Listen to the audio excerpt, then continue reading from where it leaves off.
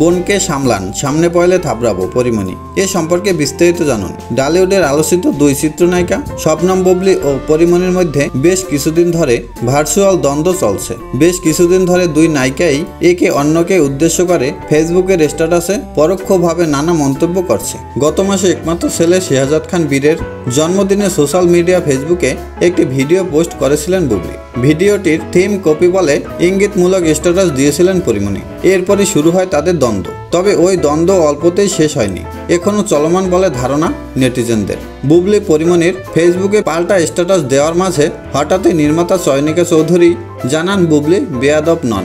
আবার পরিমণি অন্য এক স্ট্যাটাসে জানান, শত্রুর সঙ্গে বন্ধুত্ব করা ব্যক্তির সঙ্গে আর সম্পর্ক রাখবেন না। এরপরে নাম উঠে আসে নির্মাতা চয়নিকা চৌধুরী। এই ভার্চুয়াল দ্বন্দ্বের মাঝেই কলকাতা থেকে পরিমণি একটি সংবাদ মাধ্যমের সঙ্গে এ ব্যাপারে কথা বলেন। সেই রেশ কাটিয়ে ওঠার আগেই এবার ফের মন্তব্য করলেন এই নায়িকা। ফেসবুকে এক স্ট্যাটাসে ক্ষোভ উপড়ে দিলেও তাতে কারও নাম উল্লেখ করেননি পরিমণি। এরই মধ্যে গতকাল শুক্রবার বিকাল পাঁচটায় ফেসবুক প্রোফাইলে এক স্ট্যাটাসে এই নায়িকা লেখেন, আপনার বড় বোনকে আগে সভ্য হতে বলেন আপা, গালিগালাজ করে সোশ্যাল মিডিয়া স্ট্যাটাস দেয় কেন বিদেশ বসে। সামনে আসতে বলেন, আগে নিজে এবং নিজের পরিবারের সভ্যতা নিশ্চিত করেন, দল পাকাইয়েন না এত। পরিমণি আরও লেখেন, আমি তাও তো আপনাকে আপা বলে কথা বলি, আপনি বলি, কারণ আমি সভ্য তাই।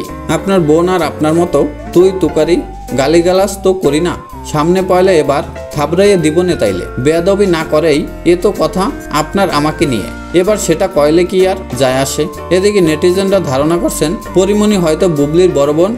সংগীত শিল্পী নাজদিন মিমিকে ইঙ্গিত করেছেন। কেননা গত ফেব্রুয়ারিতেই ফেসবুকে লাইভে এসে ডালিউড সুপারস্টার শাকিব খানের প্রথম স্ত্রী অপু বিশ্বাসকে অসংখ্য অকথ্য ভাষায় গালিগালাজ করেন। ওই সময় বিষয়টি নিয়ে বেশ আলোচনা হয়েছিল। বোনকে সামলান, সামনে পয়লে থাবড়াবো, পরিমণি। কাকে ইঙ্গিত করলে এই মন্তব্য করলেন পরিমণি? এ সম্পর্কে আপনার মতামত অবশ্যই কমেন্ট বক্সে সবার সাথে শেয়ার করবেন। নিত্য নতুন খবর পেতে আমাদের সঙ্গেই থাকুন। সবাইকে অসংখ্য ধন্যবাদ।